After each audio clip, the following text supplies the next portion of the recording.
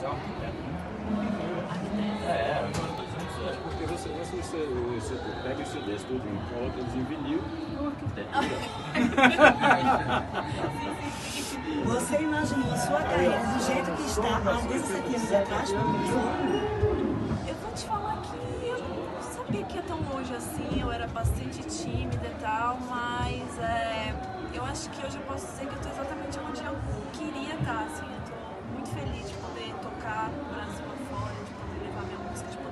o Brasil. Isso é uma coisa que a música dá pra gente, pros artistas, é poder ver o que, que é essa grandeza toda. E, enfim, eu tô aqui ralando, batalhando, eu acho que eu sou uma operária do meu ofício.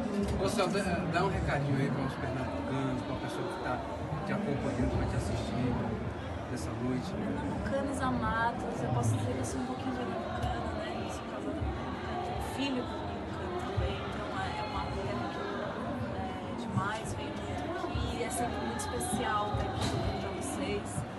E eu tô felizona de estar aqui em FIG de novo, vai ser incrível. Vai pernambucar com a gente, né? Opa, com certeza. Valeu, sucesso. Muito bem, tá aí. Valeu, galera. Valeu, Valeu.